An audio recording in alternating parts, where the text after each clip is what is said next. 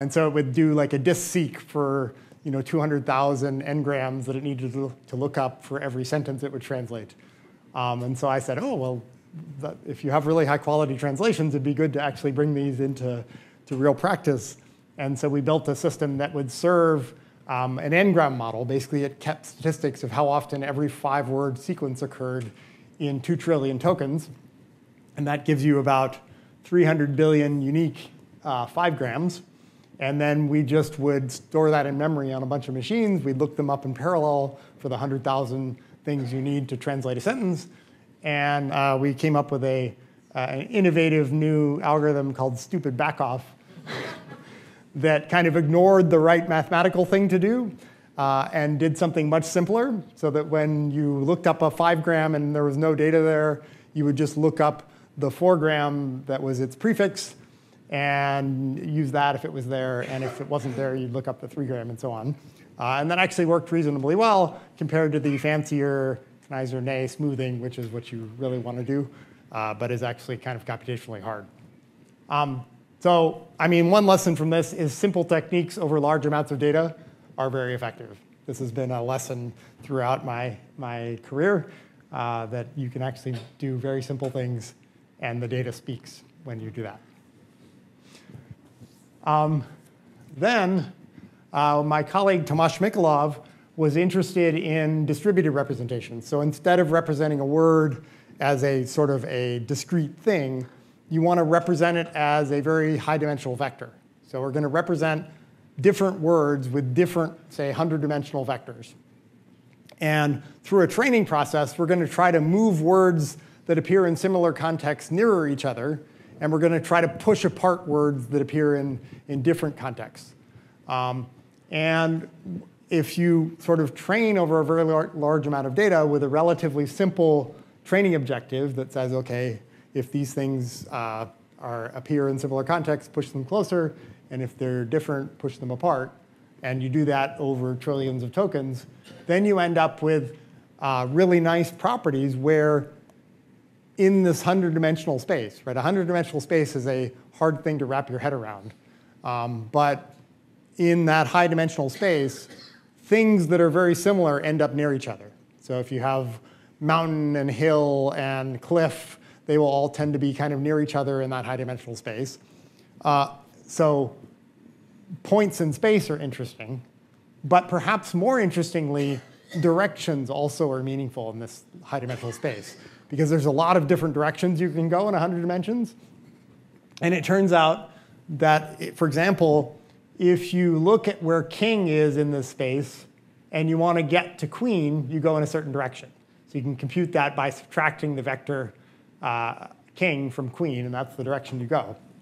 Um, so it turns out that king minus queen, that's the direction, is roughly the same as the direction you would go to get from from uh, man to woman. And so directions are meaningful, and different directions mean different things. So going from the present tense of a verb to the past tense is a different direction, regardless of what the verb is.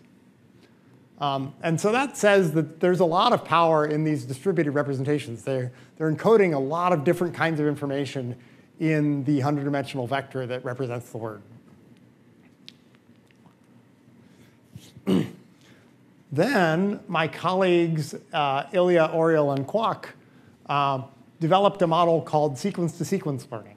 And so basically this used a neural network where you would have an input sequence. Uh, let's take the case of translation. So you put in an English sentence one word at a time, and the system kind of builds a representation from its own current state plus the new word that it's now seeing, and updates that state to have now a, in the same way you have the, the distributed representations for an individual word, you now have a distributed representation for the sentence you've seen so far.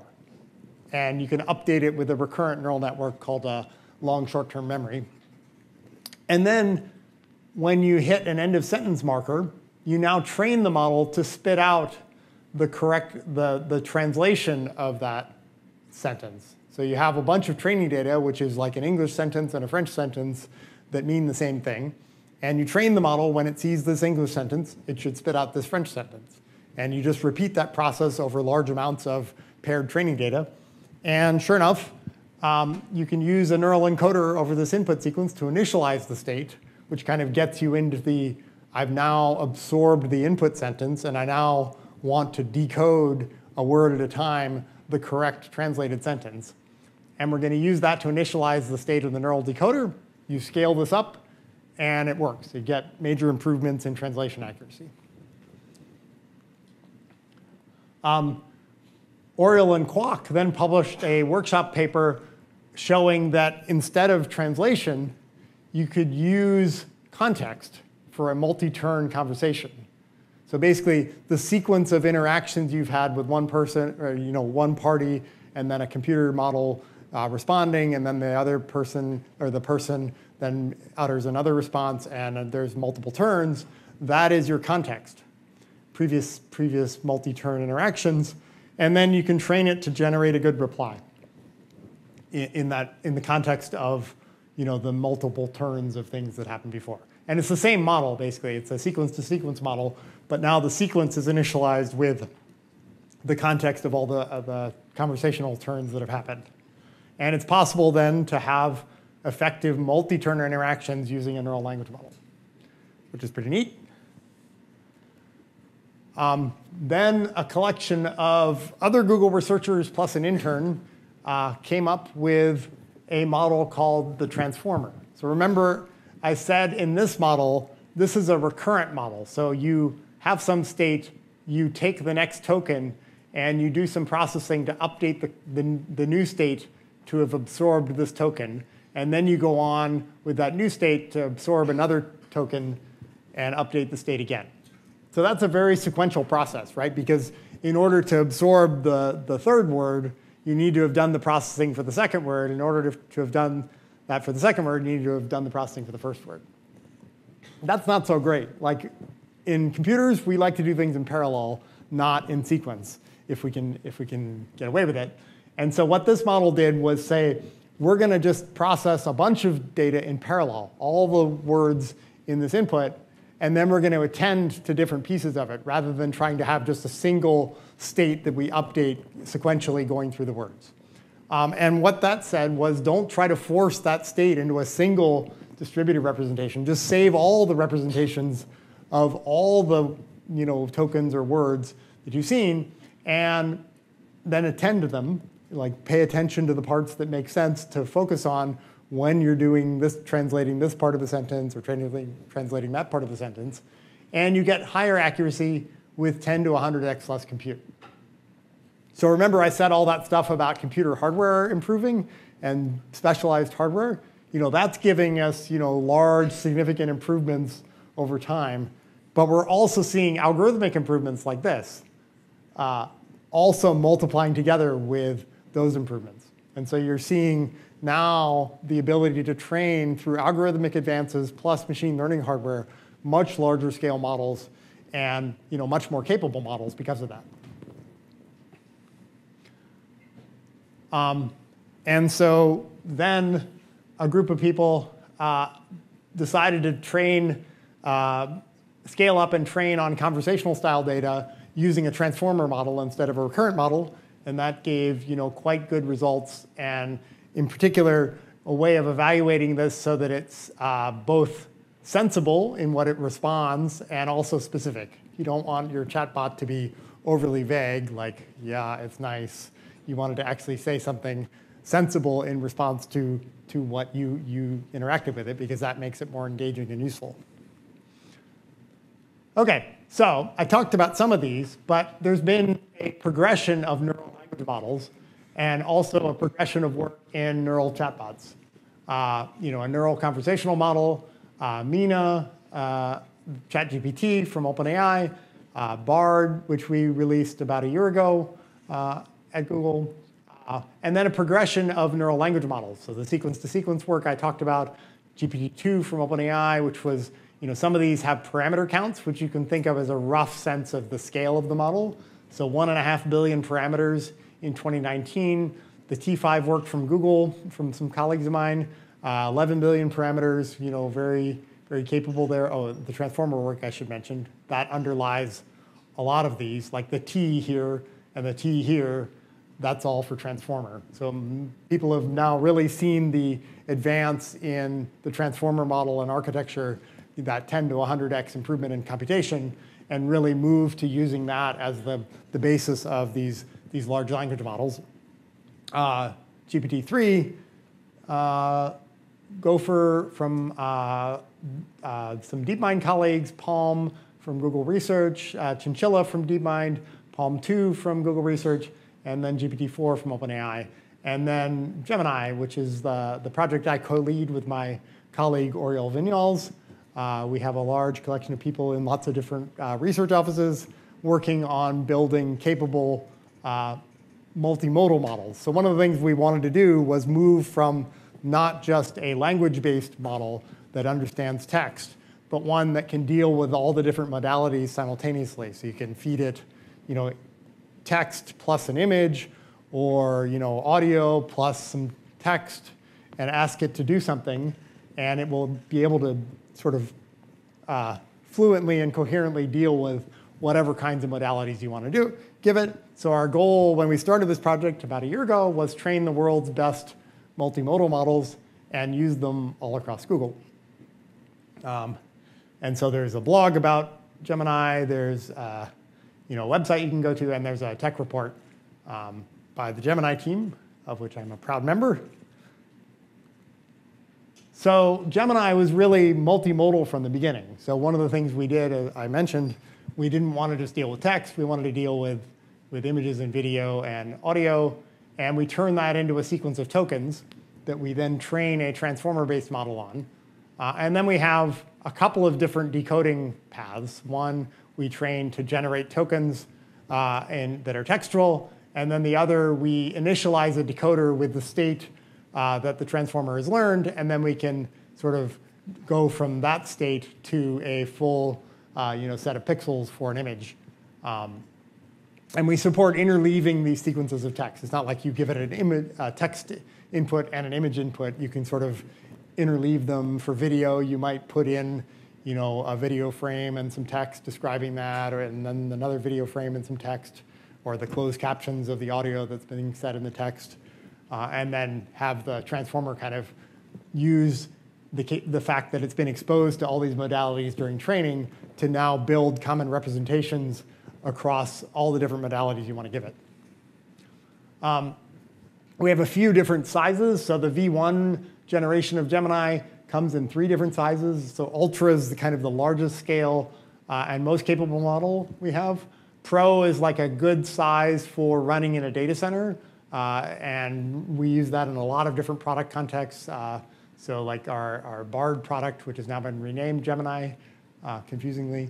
Um, uh, is uh, running on uh, the Pro model or the Ultra model we just announced last week.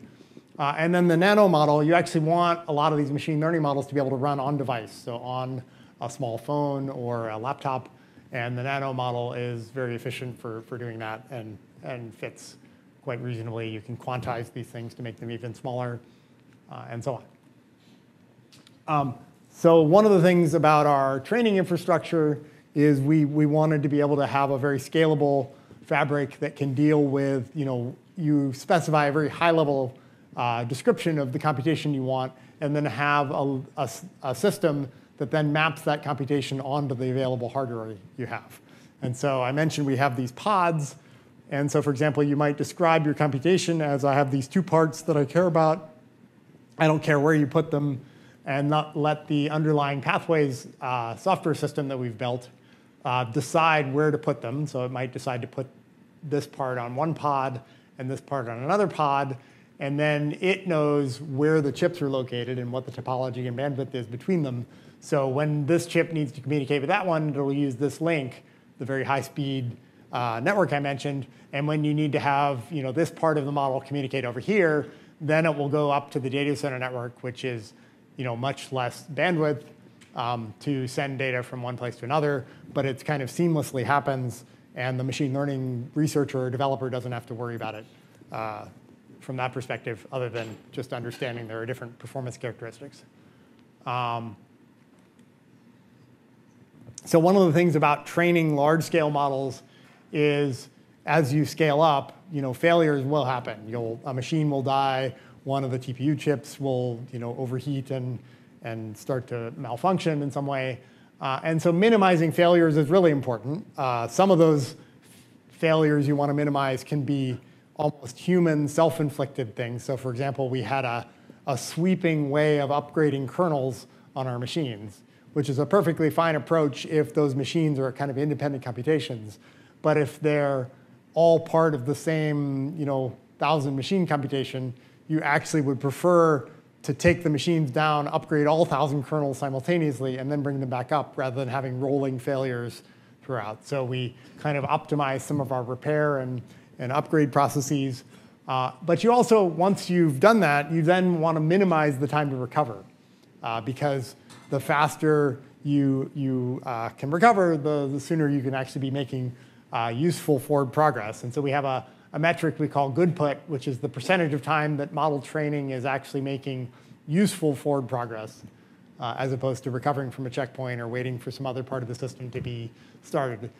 And one of the things we, we use is rapid recovery from other copies of the model state from memory in those other machines rather than going to a distributed file system to recover from a checkpoint. And that you know, makes the recovery time you know, a matter of a few five to 10 seconds rather than several minutes. uh, in terms of training data, you know, we want this model to be multimodal, so we want to train it on a large collection of web documents you know, various kinds of books, uh, various kinds of code in lots of different programming languages, plus images, audio, and video data. Um, we have heuristics for filtering those data sets. Uh, some of them are kind of handwritten heuristics. Some are model-based classifiers of like, do we think this is a high-quality document in various ways. Um, the final mixtures uh, of the training data are determined through ablations on smaller models. So we'll run smaller scale models with different mixes. Should we use 32% code or 27% code? And then evaluate the performance on a wide range of metrics to, to better understand that. Uh, we've done some things like increase the weight of domain relevant data towards the end of training. So we want to enrich it with, say, more multilingual data towards the end of training uh, in order to make the multilingual capabilities uh, improve. I do think data quality is a really interesting and important research area. Um, and I think it's, we've seen that you know, having really high quality data makes a huge difference in the performance of the model on tasks you care about. And so that means, you know, in some sense, that's as important or even more important in some cases than the actual, say, model architecture you're using. Um, and, and so, you know, I think it's a pretty important area for future research. You know, having the ability to learn curriculums automatically seems important uh, identifying high quality examples uh, and, and low quality examples and so on. And then there's been a bunch of advances in not only training these models, but also how do you elicit the best qualities of the model? How do you actually ask questions in a way that causes the model to be able to answer questions in a more effective way? Um, so for example, asking models to show their work improves the accuracy of the model and also the interpretability. Uh, and so some of my colleagues came up with a technique called chain of thought prompting. Uh, so you, if you remember back to third grade math class, your, your teacher would always encourage you to show your work, right? And the reason they want to do that is both to see your thought process in getting to the answer, but also to kind of encourage you to think about, you know, what are the next steps and how am I going to break this complicated problem down into a smaller set of, of steps. And so if you ask a model, you know, give it, you, usually you give it an example of a kind of question you wanted to answer, and then the actual answer for that question, and then you ask it a new question. And then you ask it to answer that question. And so here's an example of a question, and, and then the way the model was taught to respond is just to figure the answer out and give it. Um, and then there's a more there's a different question and the model output actually says the answer is 50, which is wrong. But if you instead ask the model and show, demonstrate to it, you know, how do you show your work? Um, and you say, okay, well, Sean started with five toys. If you got two toys each, then that is four more toys. Five plus four is nine, so the answer is nine. That's, that's the work your third grade math teacher would be really proud of. Um, and more importantly, if you do that, the model actually you know, elicits these sort of more incremental steps to get to the answer, and it gets it right because it's now had longer to think about the, the steps, basically more time to think about through the steps of, of uh, getting to the right answer. Uh, and so that's actually, and it's a pretty dramatic effect, right? These two, these two lines are the same underlying models at different scales. And what you see, these are two different sort of mathematical oriented benchmarks. Uh, the one on the right is sort of eighth grade math problems, and this one is you know, a bunch of arithmetic problems. What you see is the quality of responses is pretty bad when you just give it st standard prompting. But at some point, the model scale becomes large enough that all of a sudden, when you ask it with chain of thought prompting, your accuracy shoots up quite a lot. So that says there's a really interesting science of how do you ask these models questions in a way that actually, you know, both makes them more interpretable and also more likely to give you the right answer. Okay, so let's talk about multimodal reasoning in a Gemini model. And I think a, an example is a nice one. It's a good way to understand what this model can do. So here's the prompt. You know, here's a solution to a physics problem by a student. And then there's just a, a, a picture of the problem and the student's written out answer in kind of handwriting. And then the rest of the prompt says, try to reason about the question step by step. That's again kind of the chain of thought prompting style thing. Did the student get the correct answer? If it's wrong, please explain what's wrong and solve the problem. And make sure to use LaTeX for math and round off the final answer to two decimal places. And so that's the input, this kind of like hokey image of handwriting and a skier going down a slope and all this kind of stuff, conservation of energy, blah, blah, blah. And then this is the output of the model. So the student get, didn't get the correct answer. The student made a mistake in the calculation of potential energy at the start of the slope. Um, the potential energy at the start is given by MGH. Student used the length of the slope, I guess that's the hypotenuse, instead of the height in the calculation. The correct solution is, you know, it means the total blah, blah, blah. Therefore, we can write, this is, this is actually in LaTeX, but we've rendered it for your reading convenience. Uh, and substituting the values, there it is. It worked the problem out to two decimal places. So think about what this means. All of a sudden, we can give models like kind of multimodal input, you know, a complex, you know, picture of a whiteboard and a problem and ask it to do something, and it can do it. You know, it's not always going to do it right, but, but it can. And uh, this can be an amazing educational tool. So think about, you know, a student trying to work things out on their own, and they're taking pictures of their solution, and, and you know, the system is kind of helping, helping them figure out what they did wrong. Um, we know that individualized tutoring has outcomes that are two standard deviations higher when you have a one-on-one human tutor for education than when you have a much uh, broader scale classroom setting. So could we get close to that in terms of having individualized uh, tutoring? I think, I think that, that possibility is within our collective grasp. Um, okay, so evaluation, you know, that was kind of a, a qualitative example of Gemini's capabilities, but it's also good to look at how it compares on a bunch of different uh, characteristics. Um, evaluation, you know, really helps us identify the model's strengths and weaknesses, helps understand, you know, is training going well? So we're constantly evaluating these metrics as we're training the model.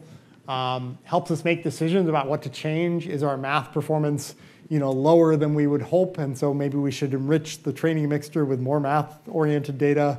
But what will that do to multilingual performance? Um, there's a lot of complicated trade-offs, some of which you make at the beginning of training, some of which you're kind of monitoring online and trying to make uh, principled or seat of the pants decisions, I guess. Um, and helps you compare the capabilities to other models and systems. Um, and so the high, highest level summary is, you know, we looked at 32 academic benchmarks, uh, and the Gemini Ultra model exceeded the state-of-the-art performance in 30 of the 32.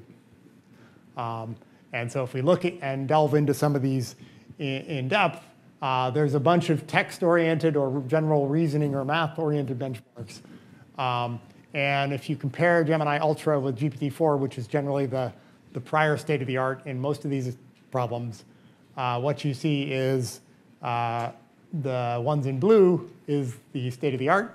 And so we, we state of the art on seven of the eight. Uh, the 90% on MMLU is interesting because this is a very broad uh, set of questions in 57 different subjects. You know, chemistry, math, uh, international law, philosophy.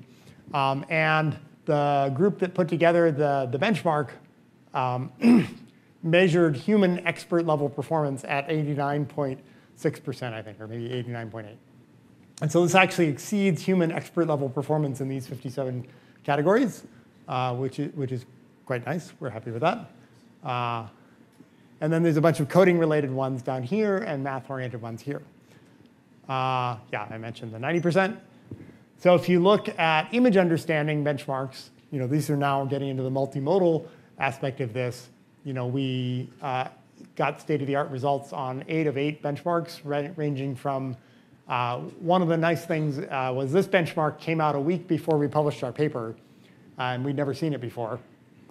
So we, our Val team quickly added this benchmark to our Val set and discovered that we exceeded the state-of-the-art results uh, by a you know, reasonable margin, uh, which was nice. It's, it's always nice when you have a, a benchmark you've never seen before and you do well on it, uh, because you're always worried about like leakage of, of test data, training data into the test set and so on. Um, if you look at video understanding, you know, again, the multimodal capabilities of, of this model really, really shine pretty well. State of the art on six of six of six uh, benchmarks, including you know the important English cooking video captioning benchmark, uh, and video question answering and so on.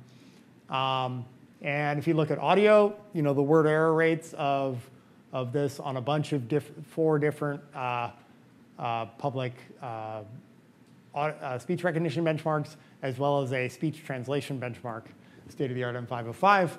And multilingual capabilities are, are quite good. We're state of the art on four of the five. So yeah, first, I hope you appreciate our eval team because this is a tremendous amount of work to evaluate these models and really understand the capabilities in this level of detail. And uh, that's uh, pretty, pretty awesome. Um, and it does give us a, a nice, firm idea that the, the, Gemini model is pretty capable. Uh, and we also have you know, measurements of pro and nano in the paper Okay, so these large transformer models can actually generate uh, surprisingly coherent conversations, uh, which is kind of the, the evolution of that sort of neural conversational model and then the transformer-based versions of those. Um, so if you look at bard.google, I guess I have to update my slides. So uh, this will be gemini.google.com. Um, so I was actually preparing a talk before we were using Gemini models uh, a, a, few months ago in Bard, uh, Gemini. Uh, and I said, you know, reverse the letters of hot chips and tensor processing units for me. So, you know, just to show what these models could do. And it says, sure, the reversed strings are, you know, there they are. Great. But then it went on to say, I can also do this for you in Python. Here's the code. Uh, you know, define reverse string as a function. Here's the string. Print reverse string of that, reverse string of that. Uh, use code with caution. I always recommend that. Um, and then it also goes on to explain it. Code first defines a function called reverse string, takes a string as input, returns a reverse string. Function works by looping through the string. Code then prints reversing. And it's always good to be helpful. Is there anything else I can help you with? Um, so this is pretty amazing, right? Like the fact that someone asked a question and it did what it was asked, but then it also said, by the way, here's this thing called programming and some Python code, uh, and here's what it here's how you would do this, uh, write, writing you know, code to do this. I, I think that's pretty cool. And then again, a real educational opportunity. Um, is there anything else you can help me with? Sure, tell me more about TPUs. So, you know, the model has a fair amount of world knowledge. It knows that TPUs are, you know, basically I, I've told you a lot of this. They're specialized hardware processors developed by Google to accelerate machine learning. They can help improve the efficiency and performance. Uh, here are some of the benefits, faster training inference. I hope, again, I hope this helps. um, and, and you know, I think one of the kind of fun things about these chatbots is they can have different kinds of personalities. Right? The, Bard is sort of your helpful friend and will help you answer lots of questions. Uh, so we actually put Gemini Pro in Bard uh, in slash Gemini uh, last month. And there's a uh, public site called LMSys that can evaluate different chat agents because there's now a lot of different chatbots in the world. And the way they do that is they get users to write their own prompt. They pick two random chatbots that they have configured in their system, and then they send the query to both of them, the prompt to both of them, show, and then show the output anonymized. So you just say which is better, the left or the right. Um, and then from that, you can compute what's called an ELO score. So Elo was, a, I believe, a Hungarian uh, mathematician who was trying to develop ways to rank uh, chess players. And so when you have a tournament, um, basically you get more Elo points when, when you defeat uh, one opponent. And so you can, in a tournament setting, uh, compute an ELO score. And roughly an ELO score being higher by 100 means that the stronger competitor will win 64% of the time. And 400 points is meant to be a 10 to 1 advantage. And so the, the, the pro level uh, model actually achieves the second highest uh, ELO score in this thing. And there's probably like 30 different models. I'm showing the top of the leaderboard, uh, which is pretty nice. Uh, so this is like a free service, uh, and these ones are, are not.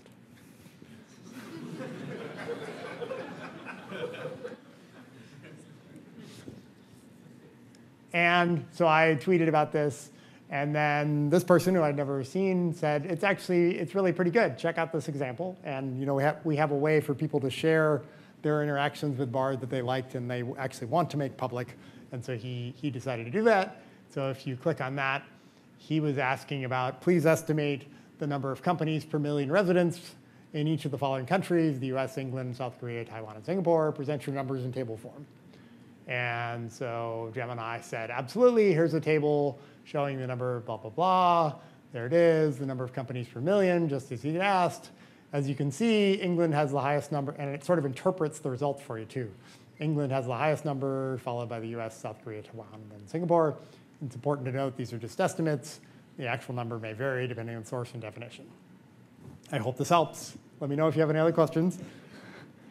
Um, and so he went on to say, you know, where'd you find the numbers for the companies? Oh, I apologize for not providing the sources. Um, it's important to be transparent where information comes from.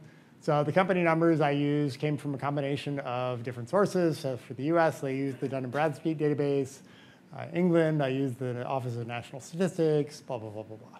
Please note these sources have somewhat different definitions. So it actually understands the subtleties, right? Like the, there's different definitions of what constitutes a company, and it sort of knew where to go off and, and get all this uh, different kind of sources of data. It didn't have that memorized, but it was able to make use of it. Um, pretty neat. Okay, and another trend I think is important is that uh, um, further refinement of these general models can make amazing domain-specific models. So some of my colleagues took some of our earlier work on the PaLM model and then the PaLM 2 model, which was a general purpose model, kind of like uh, trained on general text, and decided to enrich it and further train it on medical data, so medical kind of questions and medical articles. And what they found was the Med-PaLM model, the first one, actually exceeded the medical passing mark for the medical boards. And that when you then, six months later, they trained it on the, Med, the PaLM 2 model to do Med-PaLM 2, they actually got expert level performance on the medical boards uh, for this particular task. Now, this is not a full general purpose uh, setting. It's like a bunch of medical questions, but it does show the capabilities of having a really capable general model and then training it in a domain-specific way for specific uh, problems. Okay, uh, I'm going to go quickly through generative models uh, producing images and video. You've probably seen this as a trend in the world. So we have a couple of different research projects, uh, Parti and Imagen, Uh, and you know, one of the kind of cool things I mentioned, you can give prompts that describe what you want in visual imagery and then have models that can generate these, these images that are kind of constrained by the encoding representation of processing the sentence. And then conditioned on that, it will generate pixels for an image. So a steam train passes through a grand library, oil painting in the style of Rembrandt. There you go. Uh, a giant cobra snake made from X, where X might be corn, pancakes, sushi, or salad. Which is your favorite? I, I kind of like the, the ferocious lettuce looking snake. But the corn one is pretty nice too. Um, you know, a photo of a living room with a white couch and a fireplace, an abstract painting is on the wall, and bright light comes through the windows. So if you happen to need a picture like that for, for a presentation or something, like I did, you can uh, do that. And it can be pretty detailed descriptions. You know, a high contrast photo of a panda riding a horse, panda's wearing a wizard hat and reading a book, the horse is standing on a street against a gray concrete wall, colorful flowers and the word peace, you know, blah, blah, blah, DSLR, DSLR photograph, daytime lighting. And there you go. You know, there are many plausible interpretations of that, but at least you got one example of what you, what you asked for. Um, and this is now integrated into BARD. So the uh, K through 12 uh, government uh, school agency in Illinois uh, was really excited about being able to create images of their mascot, Hyperlink the hedgehog. Um, so there's Hyperlink surfing, riding this AI wave. Uh, and this person was very excited about, you know, the prompt was a human buying coffee at Costa Coffee in, London. Costa Coffee is a very popular coffee chain. Um, and one of the things that these models have often struggled with is the fidelity of text. Uh, actually, you know, putting the text you asked for, making it look like a real font, and so on. And here you see it does, does a pretty good job. Um, I won't talk through a lot of the details, but essentially, you know, you put in a prompt that gives you a representation of what that sentence in a distributed vector-based setting is, and then conditioned on that, the model is trained to generate first a small scale image, and then take uh, another a model that is designed to improve the increase the resolution of an image, uh, conditioned on both that lower scale, lower resolution image plus the text embedding. And then we apply that one more time with the larger image and the condition on the text embedding to produce the full scale 1024 by 1024 image. Um, and you can really see the effects of scale. So if we train four different models uh, with 350 million to 20 billion parameters, um, and then give them the same prompt, you know, a portrait photo of a kangaroo wearing an orange hoodie and blue sunglasses standing on the grass in front of the Sydney Opera House, holding a sign in the chest that says, welcome friends. Um, what you see is you know, it kind of got the kangaroo aspect at the smallest scale, but not, and the orange hoodie, I guess, but not much else. There is a sign, but it's, you know, again, not, it struggled with text, let's say. Uh, as you scale up a bit more, the kangaroo got a little better. It now knows a bit more that Sydney Opera House looks something like that, but it's kind of a little chunky and doesn't have a lot of detail. Uh, it, it's closer to welcome friends, uh, but it might be veg me hee hee, I'm not sure. but then as you scale up, you now get a pretty nice image of the Sydney Opera House and your kangaroo and the orange hoodie with the right text. So you see, scale is, is an important aspect of this. And this is why you're seeing all these advances in you know, the last decade is essentially scale and better training methods and algorithms really contribute to higher quality results. This graph just effectively says the same thing, but I think the kangaroo says it better. um, I think it's also important to realize that there's a lot of machine learning uh, kind of invisibly helping people in various ways, uh, and particularly on phones. So, you know, a lot of camera features in modern smartphones have gotten significantly better over the years through combinations of computational photography methods and machine learning methods uh, together. You know, so portrait mode where you make the background all blurry so you look all fancy in the foreground um, is a nice, nice technique for some of these uh, portrait style photos. Uh, night sight, where you're trying to take an image in very low light conditions, you can essentially take lots of readings from the sensor and integrate those in, in software to create you know, much higher uh, lighting conditions than the actual conditions under which you did that. That also helps you take better astrophotography. And portrait blur and color pop are nice features sometimes when you want them. Um, magic eraser, so if you actually understand images and you point at like one of the telephone poles and says make and say make these go away, then the system can do that. Maybe your waterfall photo had these, you know, uh, other tourists in front of it and you didn't want them there. You can you can erase them. Uh, there they go. Um, and there's a lot of features on the phone, and many of them are sort of about how do you transform one modality into another. Uh, you know, so sometimes uh, you want to be able to say screen a call. Uh, so maybe you don't want to actually answer your phone, but have a, a computer-generated voice answer the phone for you, ask what the person's calling about, and then give you a transcript of what they said. Uh, and then you can decide, you know, do I want to accept this phone call or not? Um, you know, hold for me can kind of listen on the phone for you, so you don't have to hold uh, hold on Bank of America when you're calling their customer support. Live caption can show can take any video playing on your phone and listen to the audio and then give you transcripts, uh, captions of what's being there. Maybe you're trying to watch a video in a lecture hall like this and you don't want the audio to disturb people. Um, so there's a lot of cool, cool features of this, and a lot of these are running on people's phones without them necessarily realizing it or thinking about what technology is under there. Um, and this has amazing uh, advances for, for uh, sort of people in limited literacy settings. You know, you can point your camera at something and it can read you what you're pointing it at, or maybe you don't speak that language and you're trying to understand it, it can, it can read it and translate it for you. Um, I think I'm going to go quickly here and maybe skip some of this section. Uh, I will just skip over some of this. But there's pretty awesome advances in, uh, yeah, so I'll, I'll start here.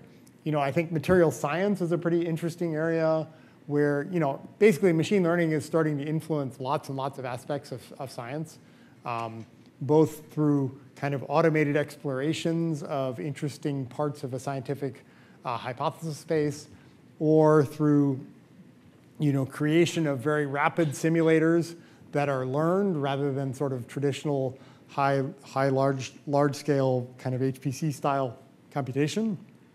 You know, in some areas, you've been able to learn a simulator that is uh, sort of the functional equivalent of a hand-coded simulator but is now 100,000 times faster. And so that means that all of a sudden you can you know, search a space of 10 million possible chemicals or materials and identify ones that are interesting and promising and have certain properties uh, that you would normally have to apply a lot more compute for. Uh, and so some of my DeepMind colleagues uh, were actually looking at uh, interesting ways of searching the space of possible materials for those with interesting uh, uh, properties so they have a structural pipeline that can you know, represent a potential material as a graphical neural network, and then a compositional pipeline that can sort of mutate sort of known structures into ones that are sort of interesting and adjacent, and then uh, use an existing database of materials to then be able to output energy models and a bunch of stable, uh, interesting possible compounds uh, and so this automated discovery of 2.2 million new crystal structures uh, leads to a bunch of interesting, you know, possible candidates for actual uh, synthesis in the, in the lab to see what properties they actually have. And I think there's huge potential for using machine learning in all aspects of healthcare. Um, really, we've been doing a fair amount of work in the space of medical imaging and diagnostics for quite a while. Uh, and those problems range from ones where you have 2D images to some, some where you have sort of 3D volumes from M uh, MRIs or other kinds of 3D CT scans. Um, and then some where you have just a single view to ones where you have multiple views and and large images, uh, very high resolution things for pathology, for example. Um, and so there's been a, a, fair body of work. I'm going to talk briefly about two of them, though. Uh, so one of the areas we've been working in the longest in this space uh, is the area of diabetic retinopathy. And so diabetic retinopathy is a, is a degenerative eye disease that can, um, you know, if you catch it in time, is very treatable. But if you don't, uh, you can suffer full or partial vision loss. And really, people who are at risk, which is sort of anyone uh, with diabetes or pre-diabetes, should be screened every year. But in a lot of parts of the world, there just aren't enough ophthalmologists to do this screening, those who have been trained in sort of interpreting these retinal images. Um, and so this is something where machine learning can actually help a lot because you can actually train a model based on you know, uh, trained ophthalmologists annotating images to say, yes, that's a one, that's a three, that's a two, that's a five. Um, and if you train a model on board certified ophthalmologists, you can actually train a model that is as, as effective as board certified ophthalmologists. If you then go on to get that same training data annotated by retinal specialists who have a lot more uh, expertise and, and, experience in the, these cases, you can actually train a model that is uh, on par with retinal specialists. It's kind of the gold standard of, of care in this space.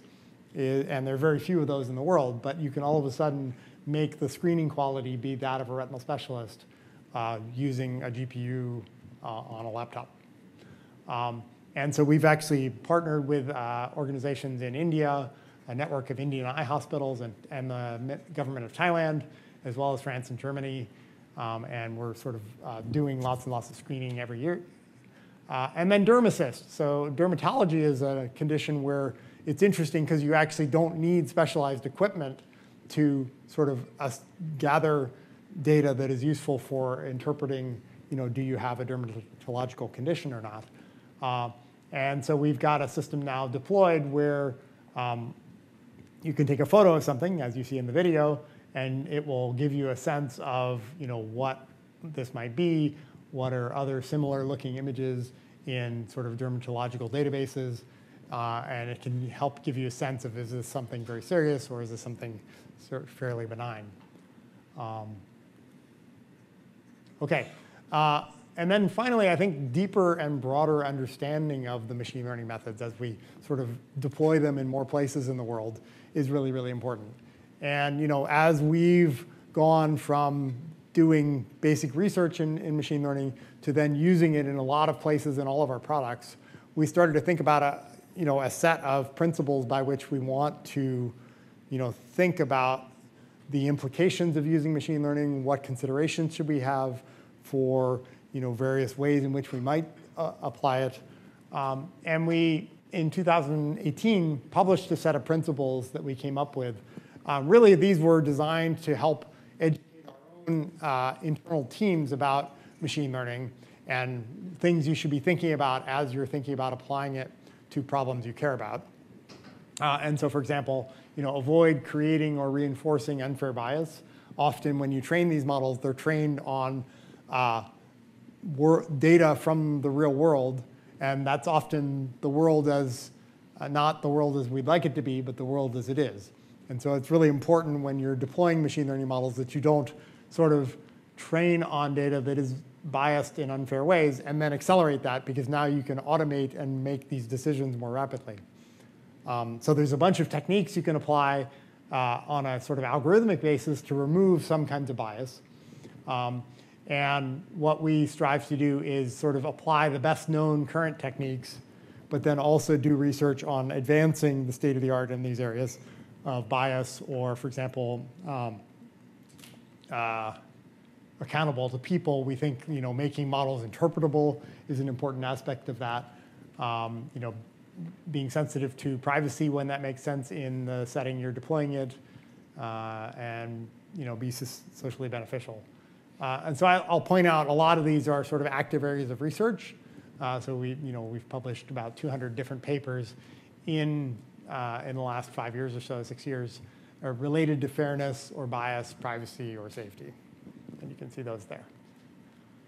Okay, in conclusion, you know, I think it's pretty exciting times for computing. I think there's a change underway from hand-coded software systems to ones that are learned and that can interact with the world in various interesting ways and interact with people in interesting ways. Um, the modalities that computers can now sort of ingest and understand and sort of produce are growing and are, you know, I think, going to make using computers much more seamless and natural. You know, a lot of times we sort of restrict ourselves to typing on a keyboard or something like that. But I think we now have the ability to talk to a computing system in a very natural way. It will understand what we say. It'll be able to produce a natural sounding voice in response or a nice image if that's what we asked for. And so I think that's pretty exciting. So there's tremendous opportunity for sure.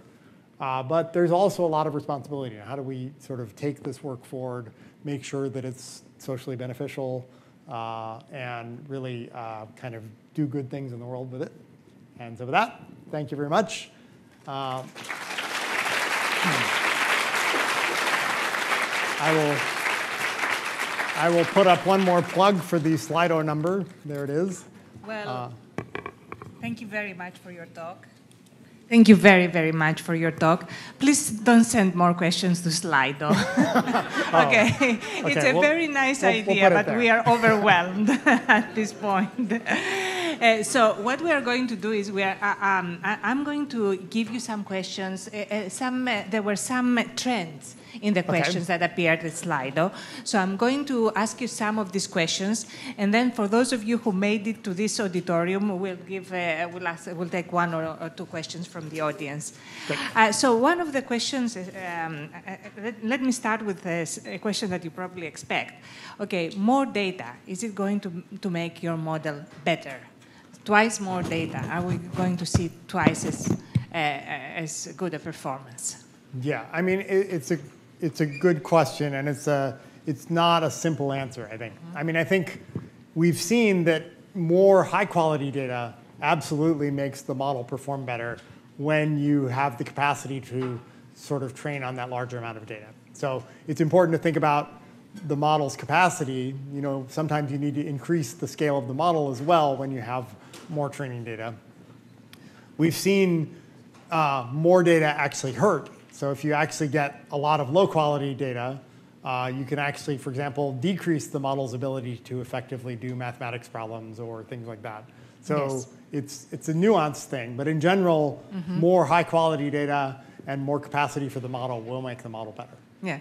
So the next question in this uh, um, in the slide that emerged is, okay, so what is the future of LLMs now that the vast majority of high quality training data has been exhausted?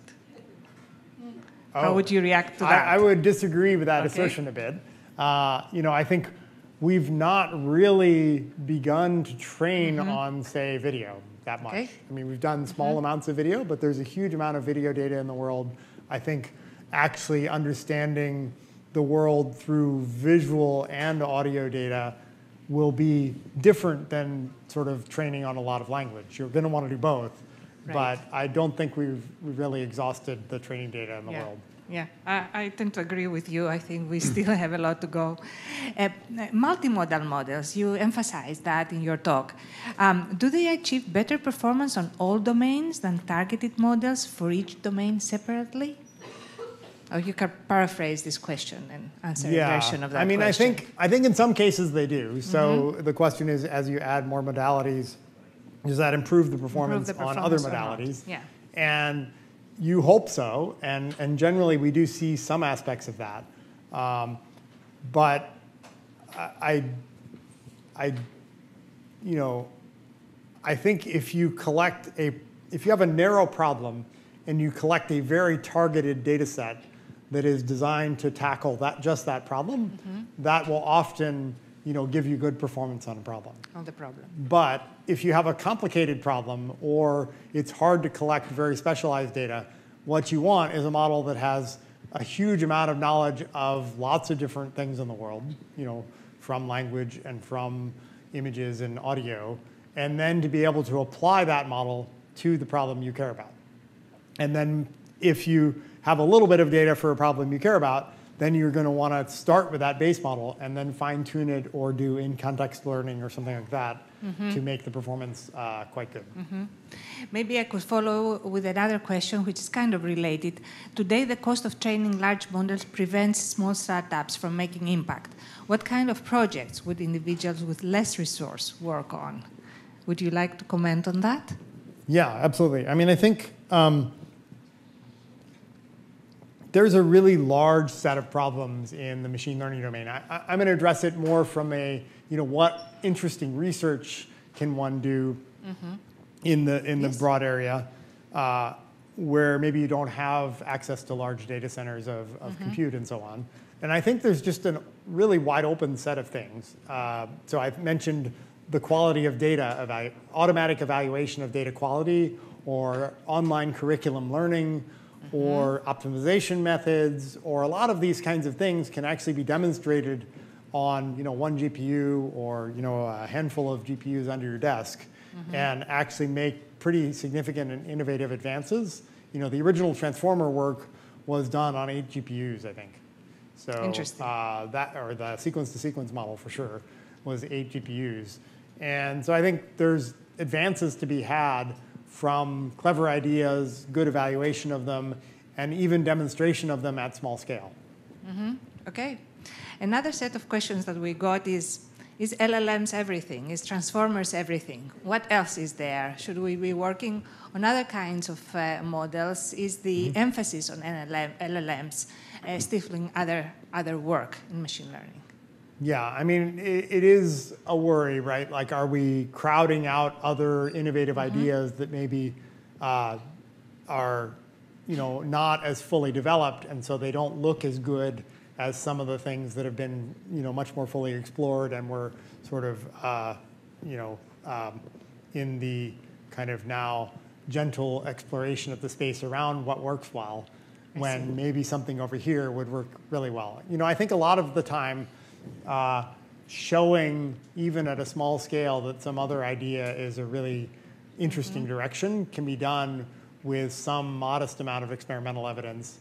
Um, and I think that's an important area to go. I would say, you know, I, I tend not to use LLM because I think we're moving to a multimodal world. Okay. Uh, and I think multimodal is going to be more than just kind of the human modalities you think about, like uh, visual and audio mm-hmm. and language, yeah. but mm-hmm. other modalities that are mm-hmm. important in the world and, you know, like time series of interesting, you know, heart rate sensor data for healthcare applications. Yeah. There's probably 50 to 100 modalities of data you'd want to be able to deal with.